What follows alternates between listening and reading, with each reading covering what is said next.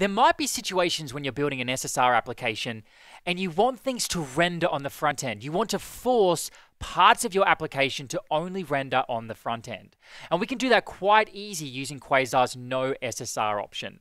So let's say Quasar dev and change the mode to SSR for this video.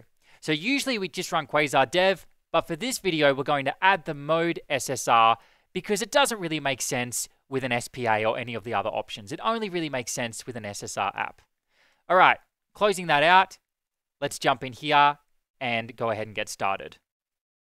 Now, before we can actually do this, we need to have a component that renders with SSR or not. So basically, we're going to create a tested component for no SSR. So we'll open up our console and say Quasar new component SSR logger. So now that we've got that component, I'll control click here to dive into it. And this is going to be really, really basic. Just a plain div, and I'll put the word something in there. And if we come down here, we can now console.log something, console.log where am I? And that's not an existential question. That's basically our way of checking where this component was rendered. Because if it renders on the server side, then we'll get the console.log on the server.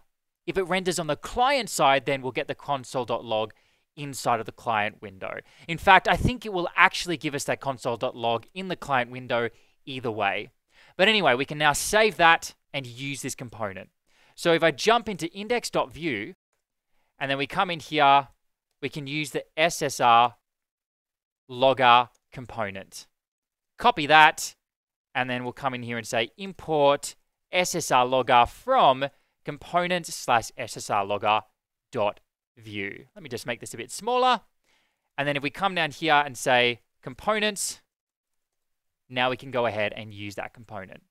So if we just leave the component there by default and save it, and then I refresh the page here, notice that we get where am I in our SSR server. That's because the server is rendering this component.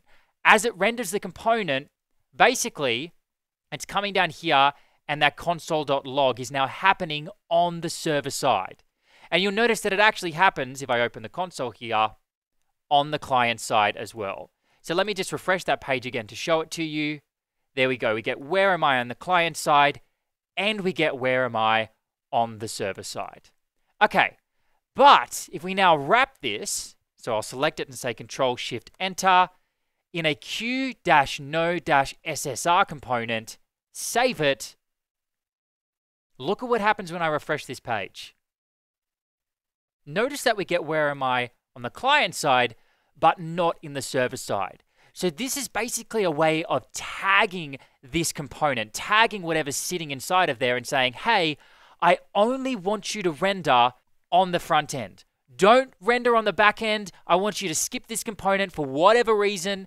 Only do it on the front end. And it turns out that there's a couple of other cool things we can do here.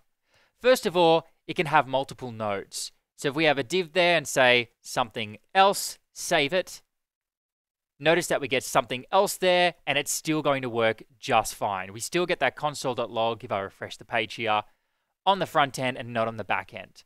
So it works with multiple nodes. Another thing we can do is change the tag. So if we set that tag equal to something like an A link, and before I save that, let's click on here and take a look at the element. Notice that by default it's wrapped in a div. Save that. Let's just refresh the page to make sure. And we'll inspect it here. Now it's wrapped in an A tag. So if you want to change this from a div to something else, that's how you would do it. What else can we do? Well, we can actually add a placeholder as well. And this is pretty cool. You can basically say that this component is still being rendered, it's still loading. So if we put a placeholder here of loading, then by default on the server side, it will insert the loading text in there. And then when it's loaded, it will insert this content into that SSR component. I'll show you what I mean. So let's jump out of here, refresh the page, and did you catch that? Notice that we get loading for a split second there. So basically, the server side is sending it through with the loading message, and then when it loads on the client side, it's replaced with this content in here. Pretty cool. And another way I can demonstrate that is if we say Control U we can look at the source code for this page.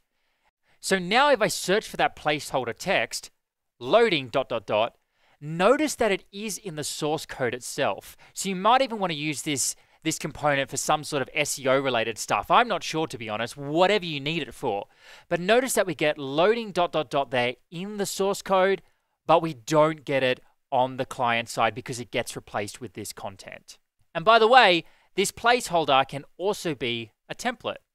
So if we come in here and then we add template and then we set that equal to a slot of placeholder, we can say whatever we like and put anything inside of there. So let's come here and refresh the page. And now if I go control U to look at the source there and search for whatever we like, notice that it was actually the default HTML that we got passed through there. But it doesn't show up except for that split second when we refresh the page. So that's about it. For the most part, you probably won't need this component, but if you have some more advanced needs where you basically want to say SSR, skip whatever's in here, then you can reach for the Q no SSR component. Hope you enjoyed this one. See you in the next video.